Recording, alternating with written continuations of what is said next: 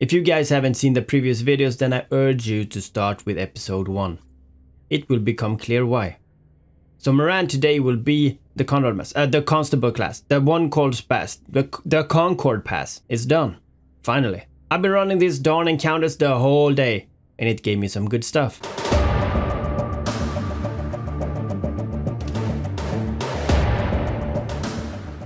So now when the must-do stuff has been done, it's time to finally explore freely.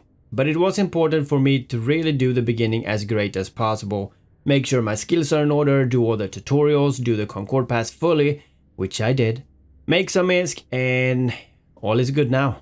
It's actually a lot to do, and not having the best idea on even what the game is can make this hard. I'm sure that 3 days to get where I am right now is a bit challenging, but it's manageable. I mean, I still have taken time to make the videos about it as well as doing what I need to do with my main character. So being even more active on your character probably can advance this even further. Now the Concord Pass sucks.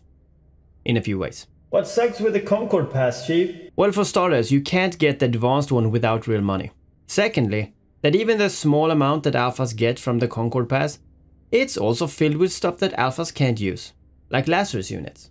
Yeah, we can't even access that function as alphas. So unless you get into Omega, you will never have use for it. But I guess it's tied to the coding with the chat translation too. Cause what games let you talk freely and understand others without a small fee? Thirdly, please tell me that's a word. It's too damn boring. Sure you can do different stuff and not rush it, and then it's probably not that bad. But I just need to get stuff done, or I feel I might forget it. So please make it more entertaining, NetEase. But there is some good parts with it though. I give NetEase that. First thing is it gives us bonuses, as well as boosting your tech level a bit faster. And honestly, I will never run out of insurance points. My ship costs like 6 IP to reclaim, and I'm close to 200 now.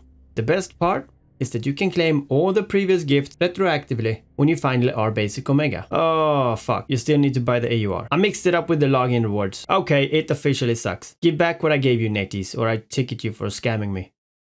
At least you can claim the login rewards.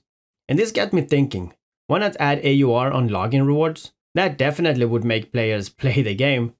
Just be online every day and you have enough AUR to pay for the advanced Concord Pass, that would be a thing.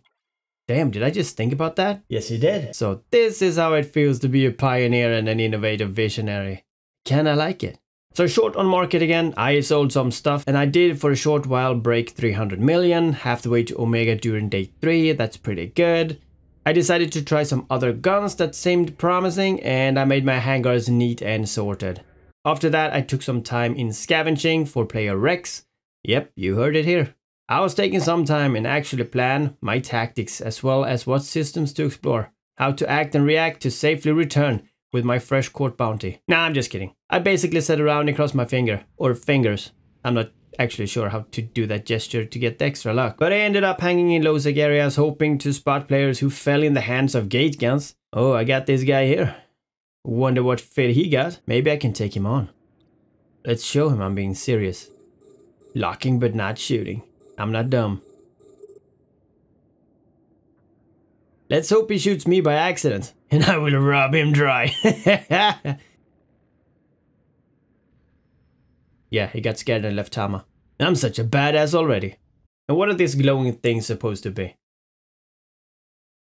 Yep, this area didn't bear any fruit, so I think I'm better off waiting for the Tech 5 so I can do some proper scanning. Also claimed my third day into TMNT Corp. And you're welcome for the mentioning by the way. You can send me 100 million ISK as a thank you whenever you feel like it. But this puts me below 40 hours left until T5 when we can really start exploring the game's opportunities. Be sure to check back for those and oh, I just remember, my PI.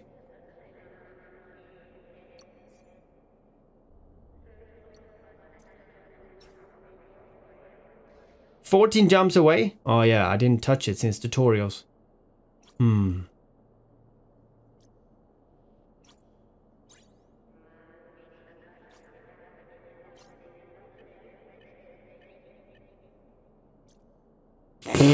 As if. So call it a day.